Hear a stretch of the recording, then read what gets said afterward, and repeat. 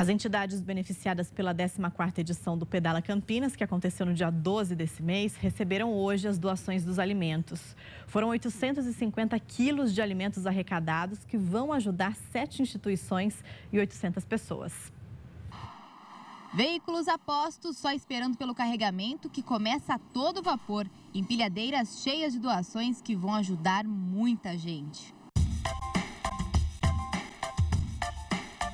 Deve ser beneficiadas em torno de 800 pessoas, umas sete entidades. Já são 14 anos de parceria do Banco de Alimentos com o Pedala Campinas e a corrente de solidariedade fica cada vez maior. Só nessa edição foram 850 quilos de alimentos arrecadados para as instituições. A divisão para as entidades é feita com base na quantidade de pessoas atendidas. Então, a conta é simples. Quem atende mais, leva mais. Só o Centro Educacional de Campinas vai receber 180 quilos de alimentos não perecíveis, beneficiando 80 crianças. A parceria com o Banco de Alimentos é muito importante. A, a parceria das instituições também são muito importantes. É uma ajuda que, que nos mantém.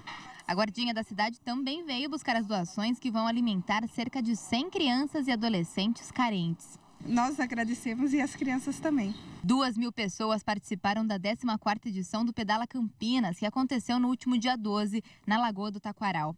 Ciclistas de todas as idades se divertiram e, o mais importante, ajudaram centenas de pessoas. Toda doação, seja ela alimentar ou a doação de serviços, a, a, a, a doação do seu tempo para uma instituição também é muito importante.